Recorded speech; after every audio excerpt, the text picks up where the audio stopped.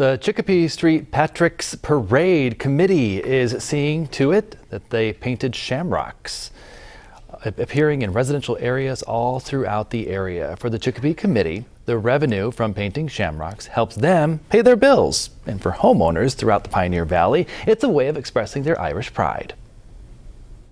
Last year and this year, the, the parade in Holyoke has been canceled, so this kind of gets people in the Irish spirit and the St. Patrick's spirit again and uh, with these trying times with the COVID just to perk people up a little bit.